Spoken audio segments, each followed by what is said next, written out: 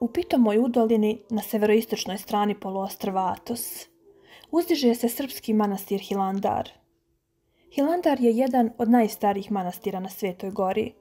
Smatra se da je nastao krajem 10. veka i da je njegov osnivač bio Georgije Hilandarios.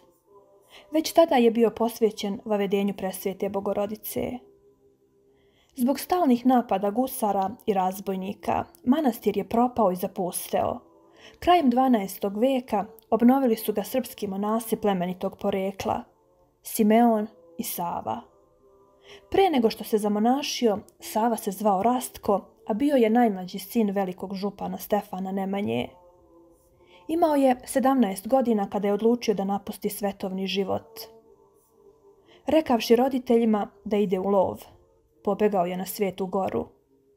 Otac je za njim poslao poteru koja ga je zatekla u manastiru Rusik, još uvijek nezamonašenog.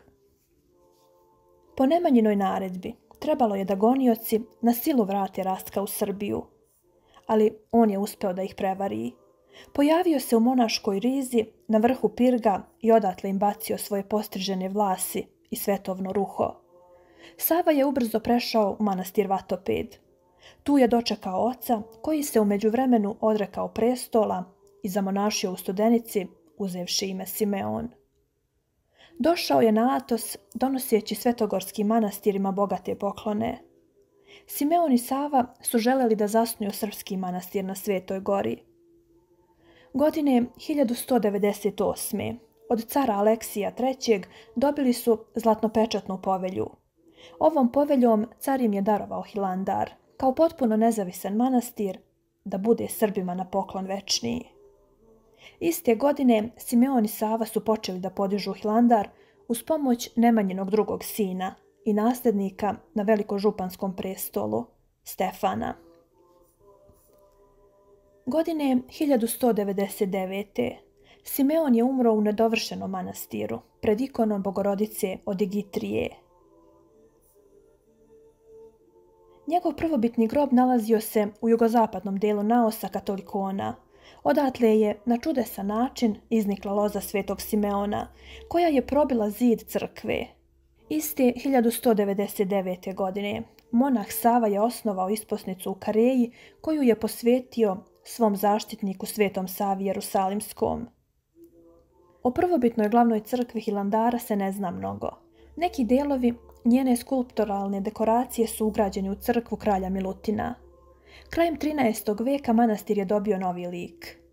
Uz dozvolu vizantijskog cara Andronika II. paleologa, kralj Milutin je dao da se poruši stara crkva i izgradi nova. Tada je i živopisana, ali je taj živopis prekriven poznim freskama sa početka 19. veka. Spoljašnju hilandarsku pripratu podigao je knez Lazar između 1375. i 1380. godine. O Hilandaru su se starali svi vladari iz svetorodne loze Nemanjića.